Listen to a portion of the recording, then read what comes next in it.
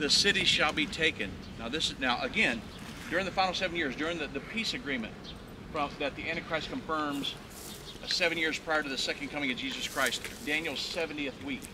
That's Zechariah's tomb Israel, up there. one of the five characteristics in that peace agreement is that Israel will retain control of Jerusalem all the way throughout the end time. But when the, at the Battle of Armageddon, the Bible says, I'll gather all nations to battle against Jerusalem. The city shall be taken, the houses rifled, the women ravished, and half of the city shall go forth into captivity. So Israel will control it all the way through, but the remnant of the people shall not be cut off from the city.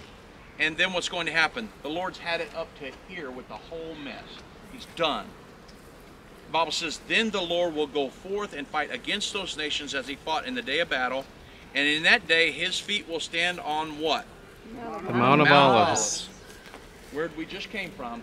So get this. The Mount of Olives is so prophetically significant. Jesus Christ ascended from there and he's coming back there.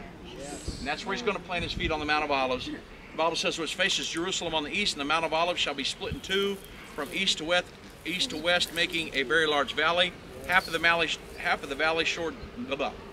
half of the mountain shall move towards the north, half towards the south. And then you shall flee through the, the mountains and valleys, uh, for the mountain valley shall reach to Azel. And yes, you shall flee as you fled uh, the, um, from the earthquake in the days of Uzziah the king. So it goes on to talk uh, about that, but the fact of the matter is, is that there's going to be a great earthquake. It's highly likely that the temple, the third temple, will go straight to hell, possibly. It's all just going to be split wide open. There will be 7,000 people killed in that earthquake. A lot of things are going to happen during that time, but Zechariah prophesied about this, and Zechariah, the prophet Joel, let me read you something, Joel again. I wanted to, I wanted to read you.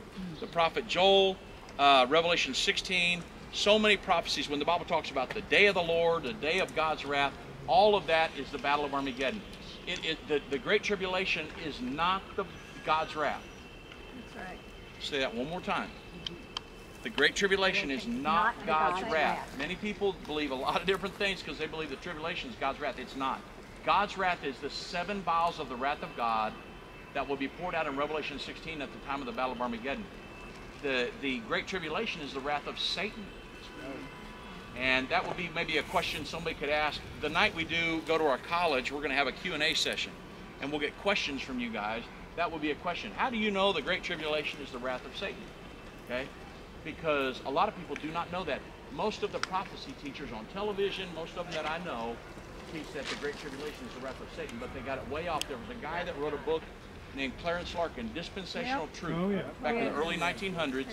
And now, if you guys are subscribers to Clarence Larkin, I'm, I'm going to mess with your stuff here. because he, he was